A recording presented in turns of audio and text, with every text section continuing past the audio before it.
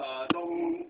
主秘哈，呃那个秘书长啊领军的哈，啊我们在座的我们的呃苏贤舰长，还有各位，还有我们的简处长啊，还有各位贵宾，现场我们即将成为大武山子民的各位同学，大家早安，大家好。好。各位，大武山是一个精神的象征，这里有非常多的队伍或者是工作人员，他们从第一届参加了之后，到现在第十三届，他们每年都来。我有幸从第六届开始参啊，第七届开始参加，我也是每年都上山。但是今年因为学校里面有非常多的事情，没有办法跟各位一起上去。不过我会在平科大的校园哈，祝福各位哈，在登山的过程里面都能够学习到非常多的知识跟智慧。因为刚刚朱杰先生讲，在山上我们不能骄傲，不能自以为是。高山在那个地方已经几万年了，我们在这个世界上了不起七八十岁，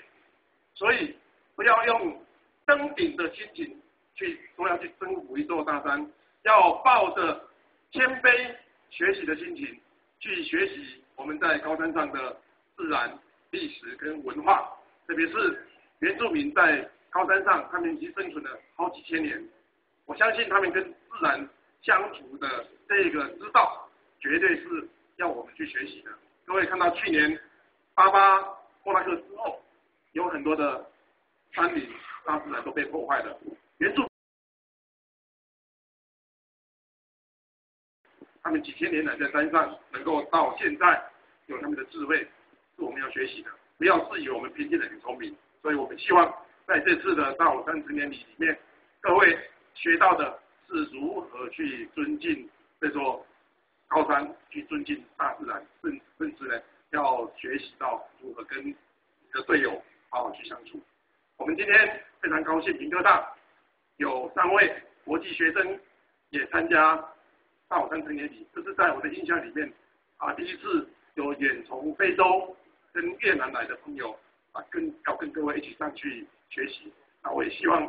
各位我们啊台湾的我们本地的我们的同学呢，好好的。跟他们相处，也跟他们互相学习交流啊！那我希望各位在啊登上这个这这这这个旅途之后，回来每个人都是变成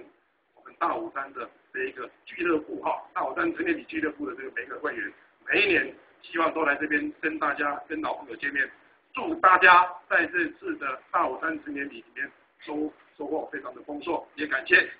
呃很多的老朋友在这个地方，谢谢各位，谢谢。